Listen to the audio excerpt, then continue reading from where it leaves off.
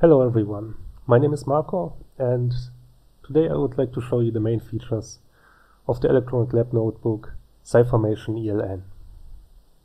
Sciformation ELN has three main components. The chemical inventory, which allows you to manage chemicals inside of your lab. The electronic lab journal, which allows you to manage your experiments. And a system to manage analytical data, such as spectra, or for example chromatography or other types of analytical data sets. These three components are very closely interconnected as we will see in a couple of minutes. So let's begin with the chemical inventory. The chemical inventory consists of two main databases, one for containers and one for substances. A container represents an actual container, such as a glass bottle in your lab, with a certain size and storage location, etc. Whereas a substance will hold information such as the structure formula, the Cas number, physical data like the melting point, as well as safety data. But a substance can also represent, for example, um, a mixture of different chemical compounds. We can search for container by clicking on chemicals and then on search container. And as you can see, there is plenty of search criteria that we can use. There would be even more if we open these group boxes here. But for now, let's just use the structure search and search for toluene. So we can enter the structure and you can see that I will use the option contains, which means that we will do a substructure search. So we will get all containers which have a substance containing this moiety.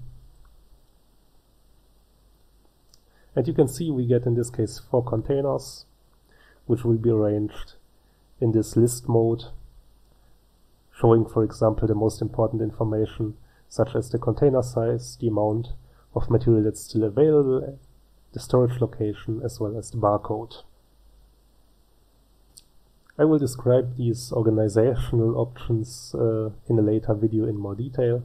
For now, let's just click on Toluene, which will bring us to the detail view in which we will get a more detailed overview over this container.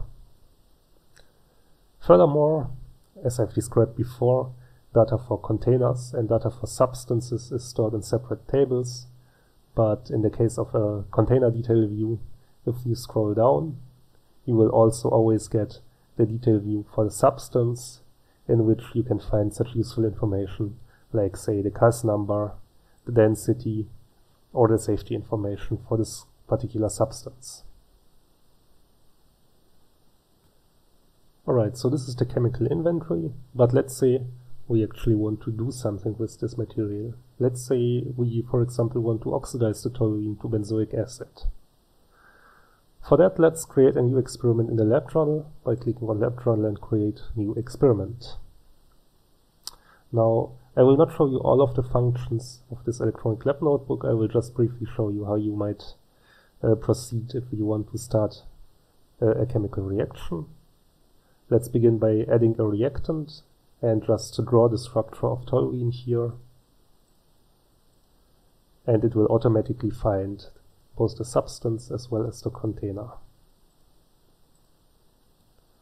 Now we also need to enter a reference amount uh, this is the amount on which the calculations later will be based.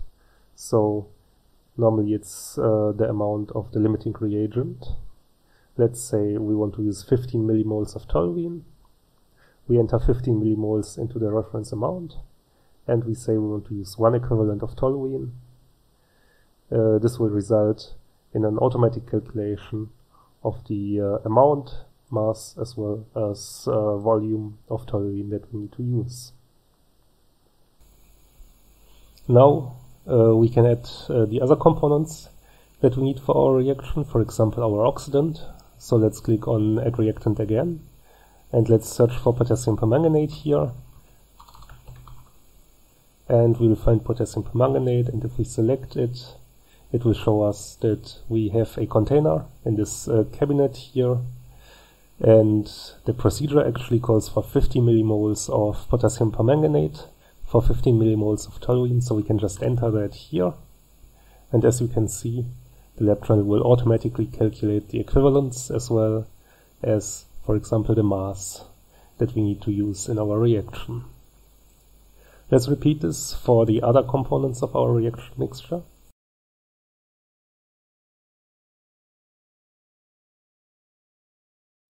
By the way, when uh, the reaction is completed, these amounts will automatically be subtracted from the amounts that are still available in the corresponding containers, helping you to keep track of your chemical inventory as well.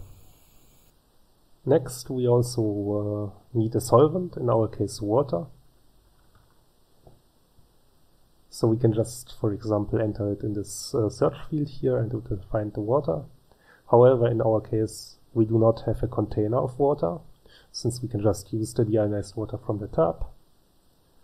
So we can just leave this as other, and we can say we need 70 ml of water. You can see that it will automatically um, use these amounts and fill these fields solvent and amount and it will also automatically write this under the arrow of the reaction equation. Now we can also, for example, enter 25 degrees for our temperature and we can, for example, enter one hour for reaction time and these values will also be displayed below the reaction equation. Next we can scroll down and as you can see we have two text fields here, one for procedure and one for observation. The main difference between them is that procedure will be copied if the reaction is copied, uh, however the observation will not be copied when the reaction is copied. So let's just copy paste uh, procedure into the procedure field. Finally, we also can add our product here, which is in our case benzoic acid.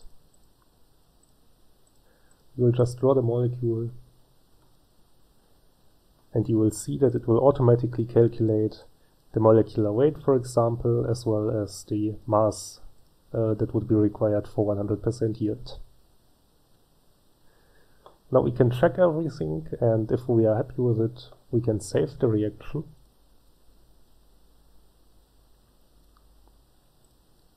And now, well, we could just go to the lab and run the reaction. Maybe we can make some observations and we can enter these observations into the observation. For example, let's say